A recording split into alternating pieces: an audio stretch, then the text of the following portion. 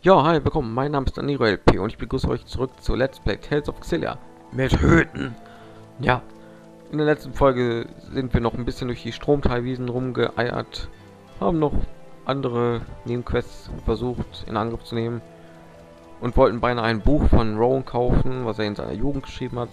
Und wir wurden von irgendeiner Katze irgendwie platt gemacht, die Level 58 war. Und wir haben Schatzhorter als Titel bekommen. Geil. Und hier ist ein Loch, da möchte ich rein.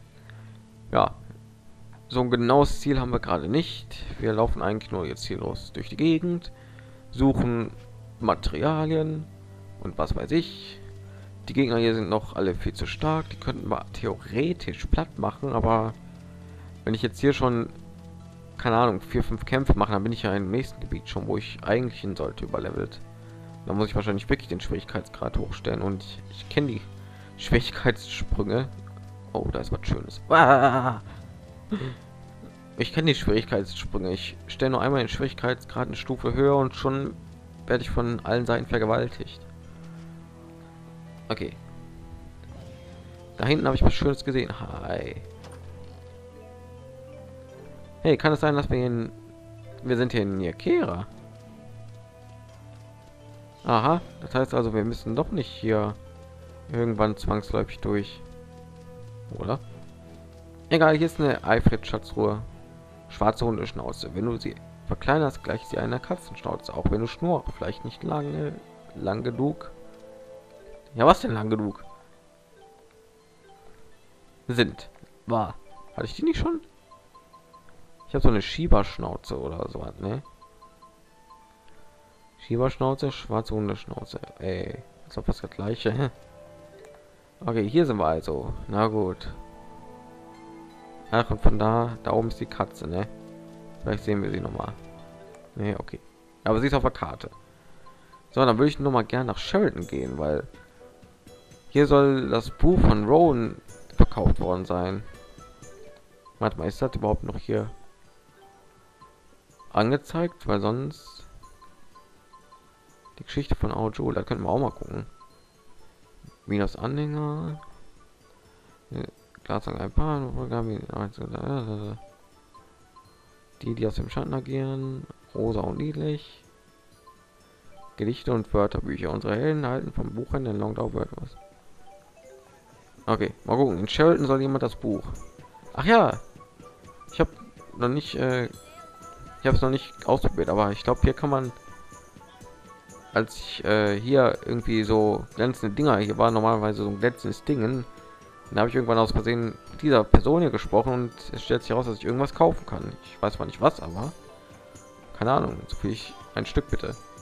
Ein Eis am Stiel. Wow. Vielen Dank. Komm bitte wieder. So viel ich tragen kann. Alles klar. Ja, ey, wir haben Eis am Stiel. Schön. Finde ich ja geil. Mehr als Eis. So, und wir haben, äh, boah, wir haben, wir uns fehlen noch neun Stück. Mann. Ja, und jetzt glaube ich jetzt schon der dritte Part, in dem nichts passiert in dieser Aufnahmesession. Wunderbar, alles läuft nach Plan.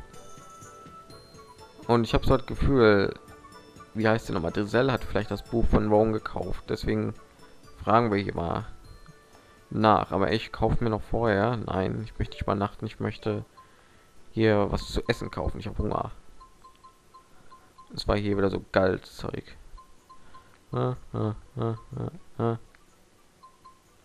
Wieso? Ach, ich habe noch davon was. Hey. Ähm. Nee, das ist zu blöd. Fünf Stück nur. Bäh.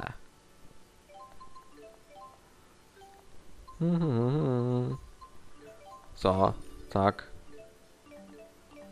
Kriegersymbol, geil. So, einfach so. Ja, dann gehen wir mal nach zu Drisel. Nach von und zu Drisel. In den drei Parts ja war ein Kampf hatten wir oder zwei. Ja, super. Die Action kommt bei mir nicht so kurz. Aber ich war sowieso nicht lange machen. So, ich werde wahrscheinlich danach wieder offscreen hier Materialien sammeln und so. Oh naja. So, Drisel, hast du Rons Buch aus seiner Kindheit gekauft? Ich werde stärker werden. So stark ist mein Bruder mich oder okay. Ja, okay. Nö. Okay, dann nicht. Dann warum dann auch? Ist ja gut.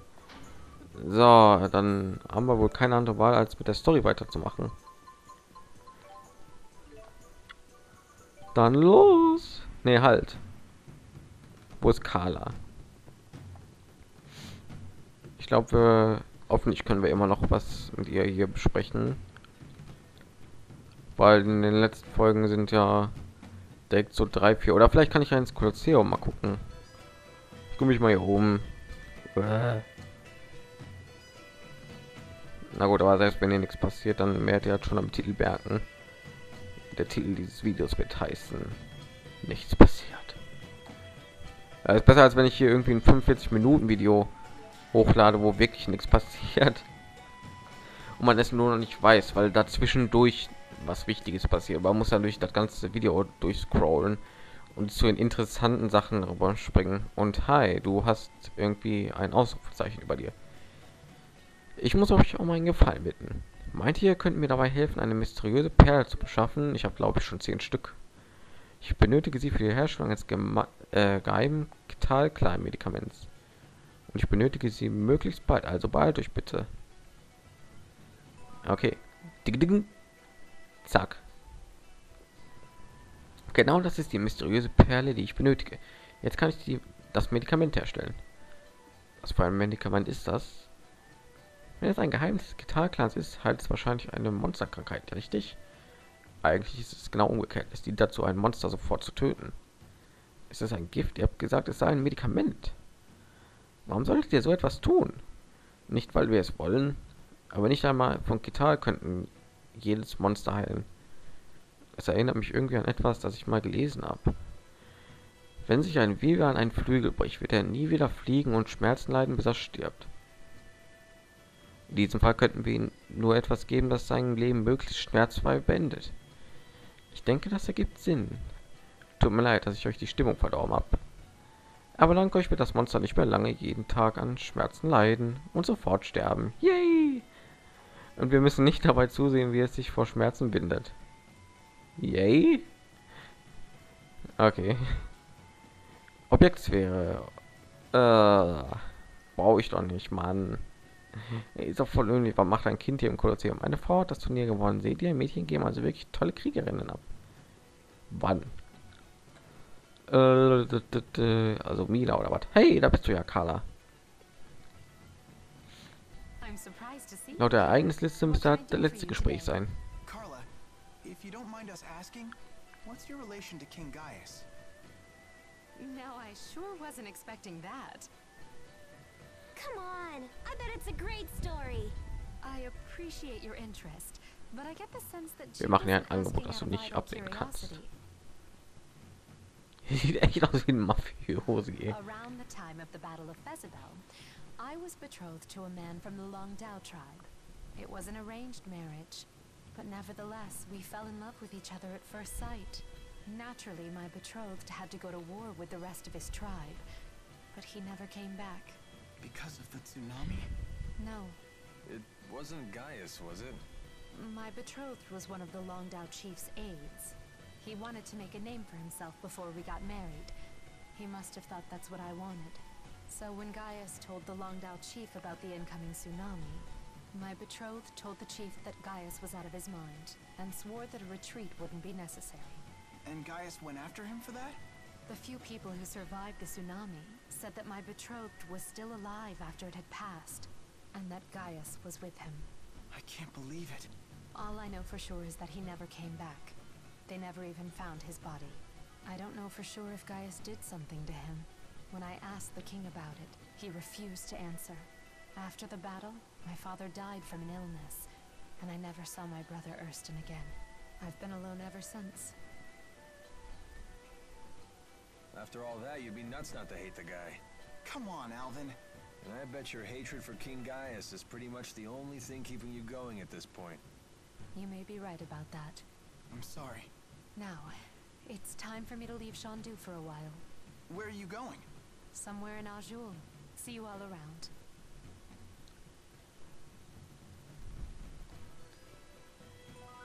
Okay. Na gut. So, kann ich jetzt hier Kolosseumkämpfe machen? Nur Schmerz das Spiel und das Blut die Währung ist. Okay. Wie kann ich euch helfen? Für einen Kampf bewerben. Ne, Regeln lesen. Die Regeln lesen. Natürlich, aufgepasst, Jungs. Wir haben hier einen Anfänger. Okay, wähle die Figur aus, mit denen du in den Kampf ziehen und die Feinde besiegen willst, die auf den Schlachtfeld erscheinen. Du kannst Gegner normal besiegen oder sie aus dem Ring werfen. Was? Pass nur auf, dass du nicht selber hinausfällst. Wenn du alle Gegner besiegst, erhältst du Preise. Verlierst du hingegen, bekommst du nichts. Wir heilen dich aber. Denk dran, du kannst beim Kämpfen nur die Objekte verwenden, die wir vorher zur Verfügung stellen. Und jetzt macht das Startgeld locker und stell dich der Herausforderung. Nein. Na gut, wunderbar, Jungs. Wir haben einen. Anfänger Einzelkampf. Jude, natürlich. Sicher, dass ihr bereit seid, wenn ihr in den sterblichen Welt noch etwas zu erledigen habt, könnt ihr das Betreten des Rings bereuen. Ich dachte, ich werde hier geheilt, hallo? Okay. Apfelgummi, bla bla bla, da ist ja noch ganz schön viel. Brauche ich sowieso nicht, ich habe doch Heiler. Na gut. Ich darf da nicht rausfliegen. Na gut. Na kommt ihr her. Ich dachte, wir wären Einzelkampf, ey. Ist ja klar. Aua. Wie stark seid ihr denn? Level 28, ja, geht ja noch. Oh mein Gott, du zauberst irgendwas. Ah! Wie eiskalt sein Ziel wechseln. So, darf ich hin? Ich darf hier nicht rausfliegen, ne?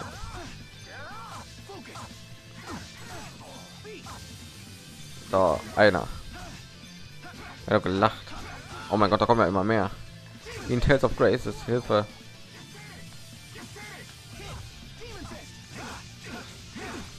Aua, aua, aua. Aua, aua. Da kann ja was werden.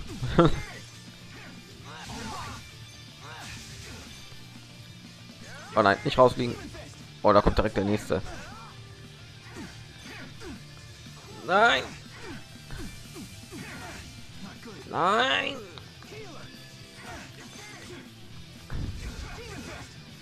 Mann, geht weg. So, ich muss mich erstmal heilen, danke. Oh, so, erstmal heilen.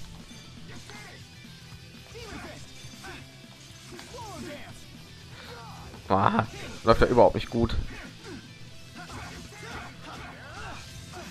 Nein, der will schon wieder zaubern. Ah.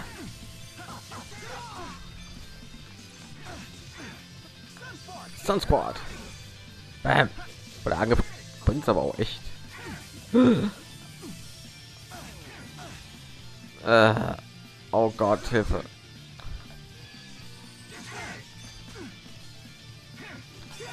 So, zack. Ich hätte vielleicht noch nicht hier hinkommen sollen. Mann, die Gegner, die halten aber auch viel aus. Erstmal du hier, du gehst mit, mit deiner Magie auf den Nerven. Aua. Aua. Aua. Aha. Ja, und Objekte könnte auch noch benutzen. Äh, ist da was? Okay, lohnt sich jetzt hier nicht.